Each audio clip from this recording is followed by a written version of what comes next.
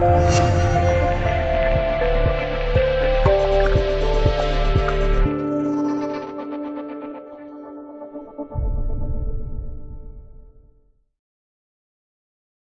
话说得好，“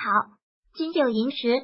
这句话在科技圈同样适用。九月份，除了要发布三款新 iPhone、两款全新 iPad Pro、全新 AirPods，并公布 AirPower 无线充电枕的价格和发售时间之外，还带来了新一代 Apple Watch、Apple Watch Series 四概念图。据外媒给出的最新消息，Apple Watch Series 四将采用全面屏的设计风格。边框被大幅缩窄，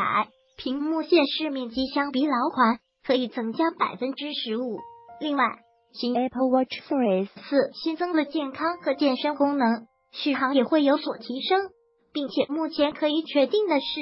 即将兼容目前的表带。最近有网民发现，苹果日前将至少十四款表带从官网移除，亦有不少表带被列为售罄。有分析认为。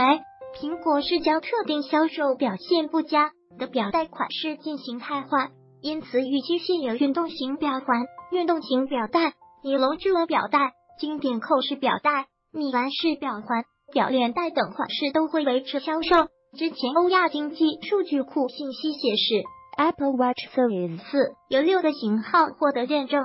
但相比上一代来说减少了两个。最大的可能是苹果将放弃昂贵的陶瓷半机型，